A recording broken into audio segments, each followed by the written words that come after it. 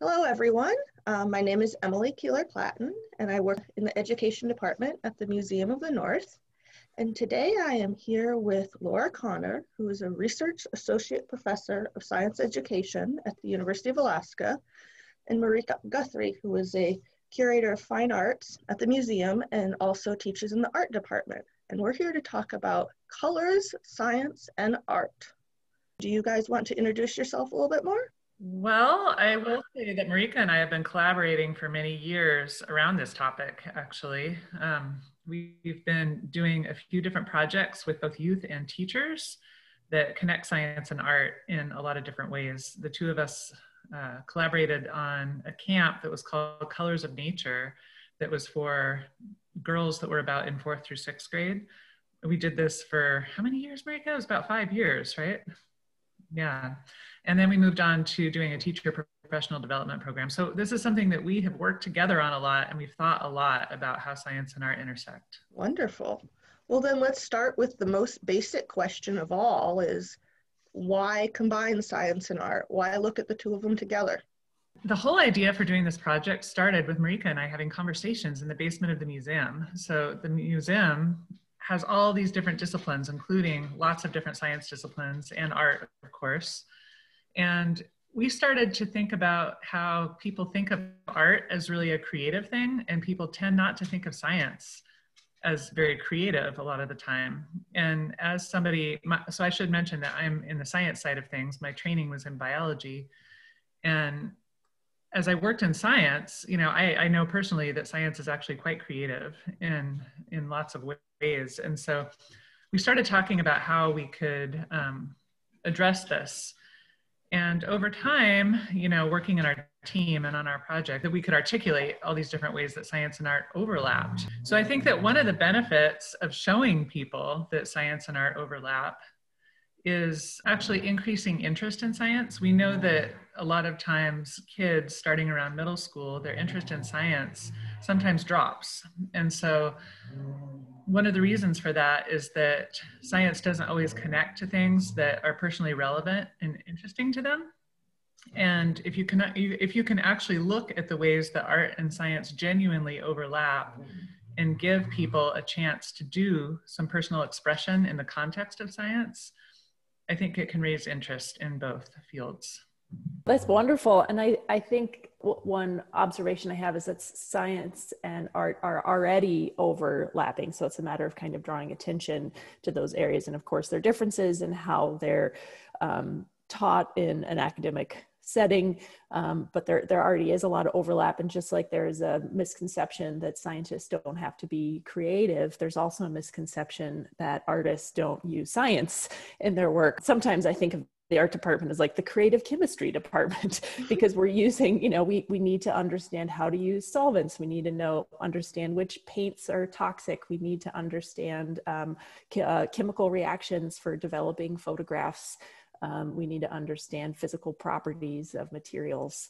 Um, so, so there already is a lot of uh, overlap. And for anybody who's interested in kind of taking a deeper dive um, into that, the National Academy of Sciences published a body of work um, called Branches from the Same Tree, talking about the arts and humanities and sciences as all kind of um, being inter- interconnected and interrelated. It's a matter of kind of just drawing attention to those overlapping areas that already exist. Um, and it's kind of, I think, this sort of false dichotomy in our minds that they're these very separate endeavors. They're really both about um, making sense of the world, about seeing patterns in the world around us. Um, it's about knowledge making. They're both about knowledge making. You've touched on this briefly, but just to expand a little bit, how is science beneficial for artists? Well it can keep them alive. So, yes. so there's i brought some examples of some pigment uh, and i don't have a chemistry background so i hope i'm not going to misspeak but um, I, artists do have to know enough that for like a cadmium cadmium orange or cadmium red these are extremely toxic um, and so you want to be careful um, not to uh, you know to accidentally eat it for instance but then there's other things like um, like a titanium white um, and like titanium is used in toothpaste to make it whiter. Sometimes it's in milk to make it whiter. One other, an interesting, red pigments are notoriously difficult to make that aren't toxic. And one of the go-to sources of red pigments is um, these cochineal um, insects. I think they're beetles. I should, I should, I used to know this. So I'm going to try and hold, hold that up. Mm-hmm. Um, and they make, this is sometimes the red dye that's used in things like Coca-Cola. Oh, wow. Um, yeah because it's it's it's very challenging to make a red pigment that is um, or to find a red pigment that isn't toxic. There's very few sources. Oh, interesting. Well, that's yeah, great. One of the really interesting things is that you're bringing some of those science facts into art in terms of what's toxic, what's not toxic. But but as we were touching on earlier, there's actually a lot of overlap in process. And so, for instance, the idea of close observation is something that's really key to both science and art. And so, so artists have to, you know, for Mareca is a painter, and so she, if she wants to paint something, she needs to start by closely observing her surroundings and think about what she wants to paint, and then closely observe the details of the subject matter. And as a scientist, you also need to closely observe to start thinking about what kinds of questions you want to ask, as well as later in the process, um, when you're when you're observing what happens during the course of an experiment so that you can interpret it and so close observation is one of those really key practices that i think overlap a lot um, you know often i think when we think of somebody doing an experiment we think of a scientist in a white lab coat but artists do experiments um, all the time. They do test samples to figure out different how different glazes will react in different um, kiln environments. Um, we experiment, like even like say, just for the example of painting, you do several, you know, experiment on on one individual artwork. Um, and uh, one other key, I think, theme is also this idea of iteration, and that just means um, kind of doing something uh, looking at it, deciding what you've learned, what you want to do differently, going back, doing it again, and iteration. You know, I think often there's this misconception that scientists know exactly what they're doing from the very beginning. They know the outcome they're going to get. Um, and that, of course, can be the case sometimes. Um, but scientists go through a lot of iteration and experimentation. Yeah. oh, yeah. You do the experiment. If you knew it was going to happen, you wouldn't do it in the first place, right? yeah you're yeah. totally right about that and, and the same the same thing with art i think often kind of people sort of feel like the artist knows exactly what's going to you know the painting's going to look like when they're done but there's a lot of um, experimentation a lot of iteration a lot of um, reevaluation in the face of new evidence um, a lot of choices that are made along the along the way yeah and i love the fact that Mareca brings up about this process of experimentation because that's another thing that I think is beneficial about an approach that combines science and art when um, in education, especially because um, people do often think of scientists as people in white lab coats, but that's just one small dimension of science. And of course, there are people that work in labs, and that's a really important component of science. But there are people that work in the field, spend all their time outdoors, um, conducting experiments or or collecting data about um, natural history occurrences. And so science can just look a lot of different ways, and and it includes you know the types of things that Mareca was talking about in terms of experimentation with materials. Well, my next question was going to be how are scientists and artists similar? But I think you've pretty well covered that.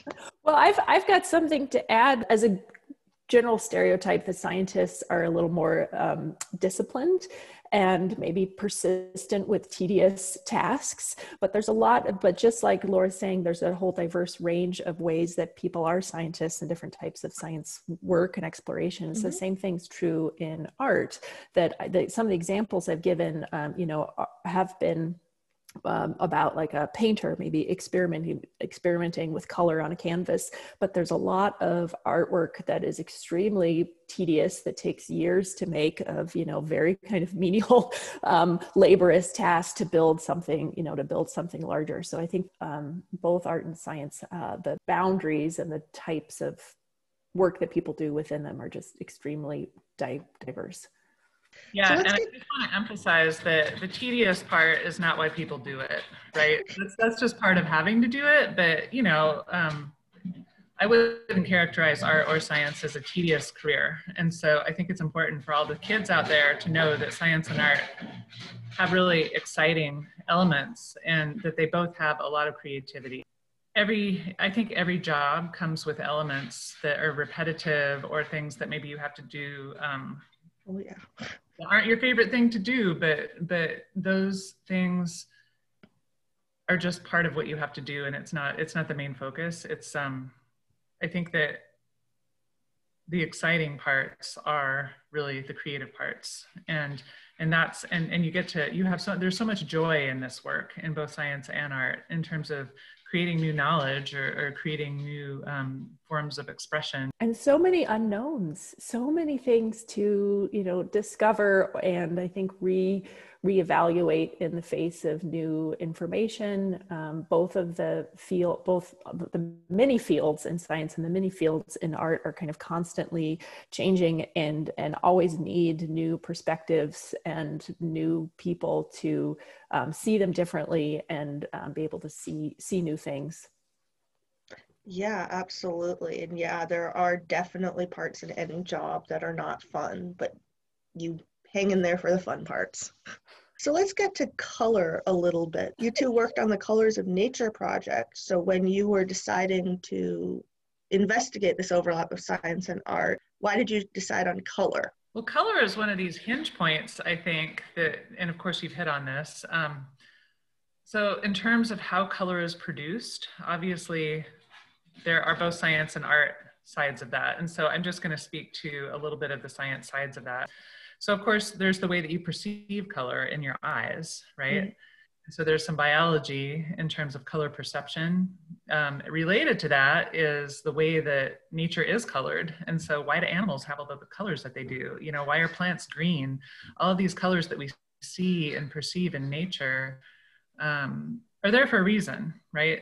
Um, some some colors uh, are byproducts of just the chemicals that are present in the um, in the organism, but a lot of colors have actually had evolutionary pressure to evolve in certain ways based on um, like mating preferences or based on how well it enables an animal to survive. And so color is really interesting biologically. It's also interesting from the perspective of, of physics, right? You know, in terms of an electromagnetic spectrum, how is color actually produced uh, from that perspective as well. And I think that um, both of those things are actually related to art in many ways. You might have to cut me off because I just I just love talking. I love talking about about color. Um, so first of all, humans can see color um, in, you know, even if we just take the human species, um, humans can see color in very different ways. There are people um, who are uh, colorblind. And so in terms of a graphic designer, you need to be thinking like if you're making uh, signs that are really important, you need to kind of be aware of how different colors can be perceived um, by a diverse range of, of people. Um, colors can be one of the reasons I love color so much as I think it can be very emotional um, for people. It can be just very expressive. Um, so humans have humans have been fascinated by color for a really long time. Um, humans have been um, painting ourselves and painting, um, you know, walls of caves before we could even build our own walls. Like this is a, a deep part of human history is this fascination with color and mark making I'd encourage people with, you know, with the help of a parent um, to or a, a, caregiver to play around with making some of your own paints. You need some kind of pigment, um, and you can use something like turmeric, um, you know, from the kitchen, and um, uh, or you can use something like ketchup, and then you need a binder. Uh, so an egg is great. If you've ever like had a fried egg on a plate and then haven't done the dishes, you know how hard that surface of that egg is. And so um, egg um, whites and egg yolks have been a, um, a key component of paints for a lot of human history, and they still are. Egg tempera is made from eggs.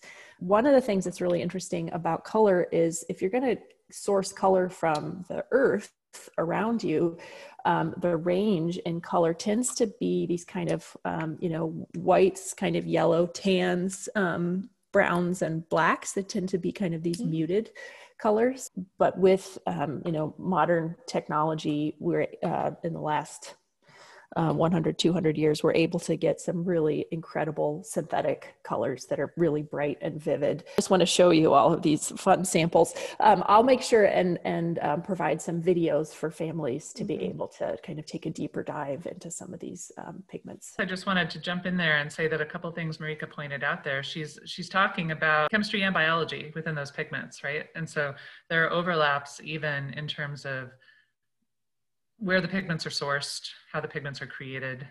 Um, all of those things have, have a lot of science uh, themes mm-hmm. within them. Absolutely. And so to follow up on that, I was thinking about um, what you were saying about um, colors in animals and plants. And I know there's a million examples, but could you just give us one or two examples of the way colors are used in nature and living things? Absolutely. And so I, I know that most people are familiar with camouflage, right? And so camouflage basically is the idea that an animal's coloration blends in with its background. And that part is really important. So if an animal is white and it's not in a white background, it doesn't blend in. And so it's no longer camouflage. And we have lots of examples here in Alaska that people can think of. Uh, and that's the one people are most familiar with. But there, there are all these really interesting things that start happening when we start thinking about mating coloration. That's something that I find really fascinating myself. And so, for instance, um, a lot of birds and butterflies and, and other species can actually see into the UV range of the electromagnetic spectrum. And so they end up having coloration that can be viewed by members of their same species that's in that UV range. And oftentimes the predators of these species can't see those colors. So that's a pretty fascinating adaptation in my mind. Yeah, that would be very important if you want to attract members of your own species, but not the things that are going to eat you. and and from an art perspective I, th- I just think it's incredible to think about that there's this whole range of color that we as humans aren't really able to see unless we have the aid of maybe a uv light if anybody has access to a uv light or a black light bulb mm-hmm. um, it can be just fascinating to look at the world around you and see things differently. So, a lot of flowers, if you hold up a UV uh, light to them to help you see, you can see all kinds of like kind of almost like indicator patterns, you know, for where the bees can follow. And um, also, there's a lot of brighteners in the world around us. So things like printer paper will will glow tremendously under um, UV light. So that can be a fun way to kind of see things that are otherwise hidden to us. Yeah. Yeah, been used from a technological standpoint to um, increase security of some kinds of documents. And so check out your driver's license under UV light. That's pretty good. It's so fascinating. And also like um, Emily, I'm looking at you now with your beautiful blue shirt and your blue quilt behind you. And, you know, blue pigment and dyes were something that were just incredibly hard to to make are incredibly expensive for a lot of human history, um, particularly purple that uh, came mm-hmm. from this aquatic snail um, and yeah, I was just listening to this uh, grand entrance that Cleopatra made once, but she was coming in on a ship and the sails were purple. And like the fat, you know, making any amount of fabric that was purple was incredibly expensive, and only a few people were really allowed to make mm-hmm. to actually use that. And so the fact that there's a ship with these purple sails must have been so incredible at the time because now, let's say you want to go buy a black shirt, um, it's going to cost the same probably if it's a purple shirt or a white shirt. But mm-hmm. for much of human history, just being able to um, have any kind of specific control over our dyes and pigments was really um, challenging to get uh, that range of colors. And that's a great example too, because of um, the science in it, because you had to have people who could bake the dye, who could figure it out, who went and found this little snail and figured out how to make a dye out of it. Like and it, that was incredible. And it was so highly um, valued that the guilds, the spinners and weavers and dyer guilds, um, all that information was very kept very secret because it was mm. so it was so valuable. Another question I was going to ask you, Mareca, is you know you said people have been fascinated by colors since the beginning of time, and this quest for color, this urge to find more colors, find more ways to make pigments, to create things with it has really changed the world.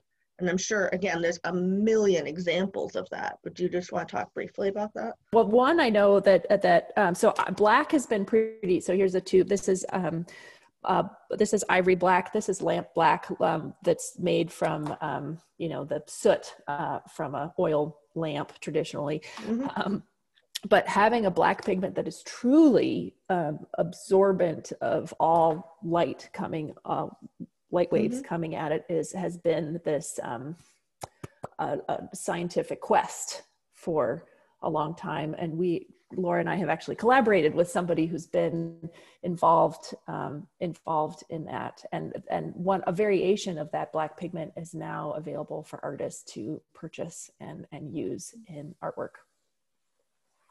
That's yeah, you'd think black. That's just simple, right?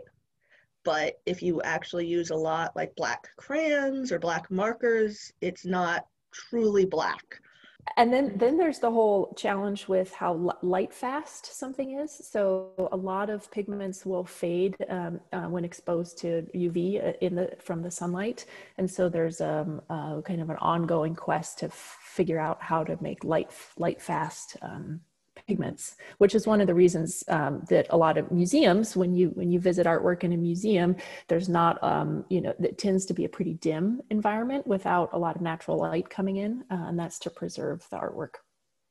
Yeah, and that reminds me of at the at the Museum of the North, didn't we have to actually install a special wall or something to yes. yes yes, at the, the entrance to the Rose Berry Gallery up on the, t- the top floor of the Museum of the North. Uh, my understanding, this was um, before I joined the museum, but my understanding um, is the sun angle in the winter in Alaska is very low and it come it was coming right in through those glorious big windows and coming right into the gallery and there was concern of if it could damage artwork so that is um, why there's a big curved wall at the entrance to the Rose Berry Gallery we call it the sun wall um, and it's to protect the gallery from that direct sunlight um, in the in the in the winter months, which is kind of counterintuitive. You think that it would be the summer months that would be the yeah. most vulnerable, but it's that low, it's that low sun angle. And if you want to try some experiments at home, if you have like a um, anything that's printed with pigmented colored ink and you want to put something in front of it. So sometimes like you'll have a, let's say like a sticker on a magazine or page or something. And let's say it's out on the kitchen table for a month or something with mm-hmm. direct sunlight, if you peel back that sticker, um, you'll see that there will be some fading. Story about the museums is mm-hmm. that the Museum of the North has um, glass that has UV filtering properties. Mm-hmm. Um, which it doesn't filter out all UV, but it filters out qu- quite a bit of UV. Um, and so uh, I think there was a rainy day that for the Colors of Nature Academy that we were trying to make sun prints, but it was um, too rainy to do it outside. So we tried doing it inside in a sunbeam coming through, and the paper wouldn't develop because the, the, windows were filtering out enough of the UV. They don't, again, they don't filter out enough. I'm kind of saying the opposite thing I was about like the danger of the artwork that was on display. They don't filter out enough UV to filter out all of it, but they do filter yeah. out a significant portion. Enough. Our art project wasn't working. Yeah. yeah. Well, that's a, an experiment. That's what science yep. scientists and artists do is they try things and it doesn't work and they try again. That brings up such an important point about mistakes and experiments. And I think yeah. for there's a tendency both in art and science to not want to make a mistake, but it's something that artists and scientists uh, you have to kind of be willing to try something new and not know what the outcome is going to be and learn from it and do it again and do it again um, in in both fields that's a really important um, aspect of the research and the creation of new knowledge and just learning in general that's right i mean in science i think getting back to that sort of creativity in science um, I mean, there's a lot of creativity in just asking your question and the way you ask it, and then thinking about how are you going to test that question. Um, and so you don't know what the outcome is going to be. If you knew what the outcome was going to be, it wouldn't be worth doing the experiment, right? And so you're designing something because you're hoping to get an answer about a question. There's a lot of creativity that goes into that design process. Um, and then you know to hit on this thing about mistakes it doesn't sometimes there's things that happen that are completely unanticipated you're hoping that you designed your experiment in a way that you'll get a clear answer but sometimes you know maybe it was a drought year and all your plants died and you couldn't collect the data that you wanted to collect but in that process something unexpected happened and you got a new insight or you were able to make a new observation about something different and then that can lead to a new area of inquiry. And so a lot of times even um, things that might be perceived as as failure in terms of the process lead to new directions of discovery. So i think that's a that's an exciting thing that happens in both science and art. Yeah so many of the things we use and rely on in daily life came out of mistakes so I think sticky sticky notes, um, 3M sticky notes are a classic example of that, where they were trying to make an adhesive, but it just wasn't sticky enough. But it was perfect for sticky notes because it was sticky enough to stick on the wall, and then you can take it off without leaving residue. And um, penicillin is the same thing, right? Yeah. And where, where would we example. be without that? Yeah. Absolutely. I just wanted to ask one final follow up question to both of you, and that is if you are a caregiver or a parent or an educator or someone working with children, what are some good ways to bring these insights into your work with children to help them combine science and art and increase their interest in both? I think that we should pay a lot of attention to the questions that, that, that kids ask because they're asking really interesting questions. And if they're able to explore the answers to those questions in creative ways, they're creating their own new knowledge. And that's super valuable, no matter what it is.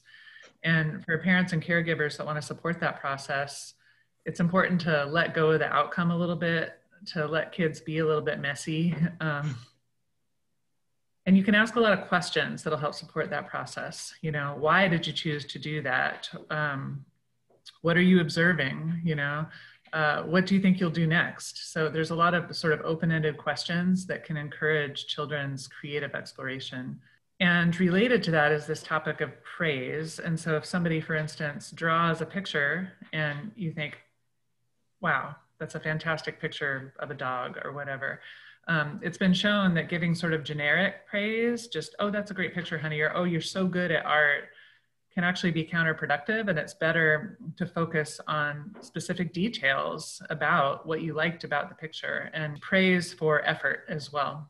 And so sometimes people of all ages, not just children, can be incredibly self-critical of what they produce. Um, or, of, or they can have a lot of math anxiety. It's not limited just to art, but this is something we think a lot about in terms of art is being very self-critical potentially of your art because it doesn't look exactly the way that you thought it would in your head the first time you try it. So anything you can do to encourage you know this process of iteration that we've been talking about you have to practice at something to get good at it and do it over and over again and have appropriate supports in order to do that. Um, and so to support that process you can say i really like the way that you captured that line on the nose of the dog. So, so specific praise and then um, praising for, for effort and sticking with it, I think are really important strategies to use. So I teach drawing at the university level and a surprising number of people come, or maybe not surprising number of people come in with what I'm learning in my head to kind of describe as creative injuries where somebody has you know they remember from second grade when somebody told them that like oh it's not you it's your brother that's the artistic one um, you know and people can carry that with them. So i think being being really um, sensitive to those sort of categorical labels and uh, um, also a lot of it's just modeling it yourself um, in terms of being really careful about what you say. Well i can't draw you know, and um, uh, so I think approaching it with a lot of kind of curiosity and self-compassion um, is you kind of can't go wrong with that. And a lot of it with kids is just giving them access to the materials and letting them explore. Kids are not naturally generally are really extraordinary artists. They're extraordinary observers of the world. Um, you know that there's so many great stories of kids being able to see fossils when um, adults uh, don't aren't mm-hmm. noticing those kinds of um, subtle variations. Kids are incredibly observant. And so i think a lot of it's kind of giving them the the space and opportunity to do their own explorations. And along that line one of the phrases we say a lot in the arts is process over product. So keeping the emphasis on, you know, the the the, the criteria really for having an enjoyable experience um, uh, with the drawing isn't so much to have this end result that you like put on the wall or put on the fridge. It's which is great. I mean, that's nice too, but it's really about um, being present and really engaging closely with that experimentation and what you're learning from the process of making the artwork. And so often there's such, a, particularly in museums, this emphasis on the finished artwork in the frame on the wall. That that's you know that that's this kind of final goal. But there's really, um, if you really think about what criteria you're using when you sit down with uh, a child to make art, it's really about um, uh, enjoying enjoying the process that also applies to science in a way because I remember a lot of experiments when I was in school where they said you're supposed to get this result. And then you don't get that result and you feel like you failed. So rather than having this like set process to just have that open-endedness, I think it's really important so people don't feel like they failed at science or art or anything else in their life and that's where those questions that Laura mentioned, I think, can really come in. So things like, what did you notice? Or why do you think that happened? If you're asking kids to reflect on the process and what happened at different points of the process, then they're going to get more out of it rather than just saying, ooh, it looked cool, it was fun. Really think about what's happening along the way you know what are you noticing? What what's could you would you do it different next time? Would you put more of this in or more of that in? Why do you think it happened that way? Um, those are kinds of really supportive learning questions that can enrich those kinds of experiences. Such great insights from both of you. This has been fantastic. I think we're just about out of time. So do you either of you have any final thoughts to share with us? I think it's i think both science and art are really um, complex processes in some ways, but in some ways they're very simple. Really, a lot of it is about uh, just, you know, just reiterate that a lot of it is about observing and capturing what you see around you through various formats. And, and I think that emphasizing the joy of discovery in both um, is something that's just really, really important to me. Yeah, I would second that. And I would encourage people not to get too kind of hung up on am I an artist or not? Because really, um, it can sound a little bit cheesy, but we're all sort of explorers of the world. And I don't feel like that that label is particularly helpful. Um, you know, all humans throughout all of time are artists in one way or another, I would argue. I think if people are interested out there and just kind of getting started, one way I'd recommend is to get a little notebook and start to make notes of, and um, test out different soils or materials and do drawings of things that are either from your imagination or things that you're noticing or things that you want to try. I think um, you know keeping a keeping a notebook is something that both artists and scientists um, say is a really important part of their practice, and I would I think that can be a fun place to start. And we actually have an activity relating to that on the museum website. We have a, a template and uh, instructions on how to make your own field journal. I think we're about out of time, but I want to thank you both. This has been wonderful. Everyone who's watching this, you can check out our uh, Family Day website for more activities and the videos, especially, and I'll add the ones that Mareca mentioned, and have fun exploring and being curious. Thanks, Emily.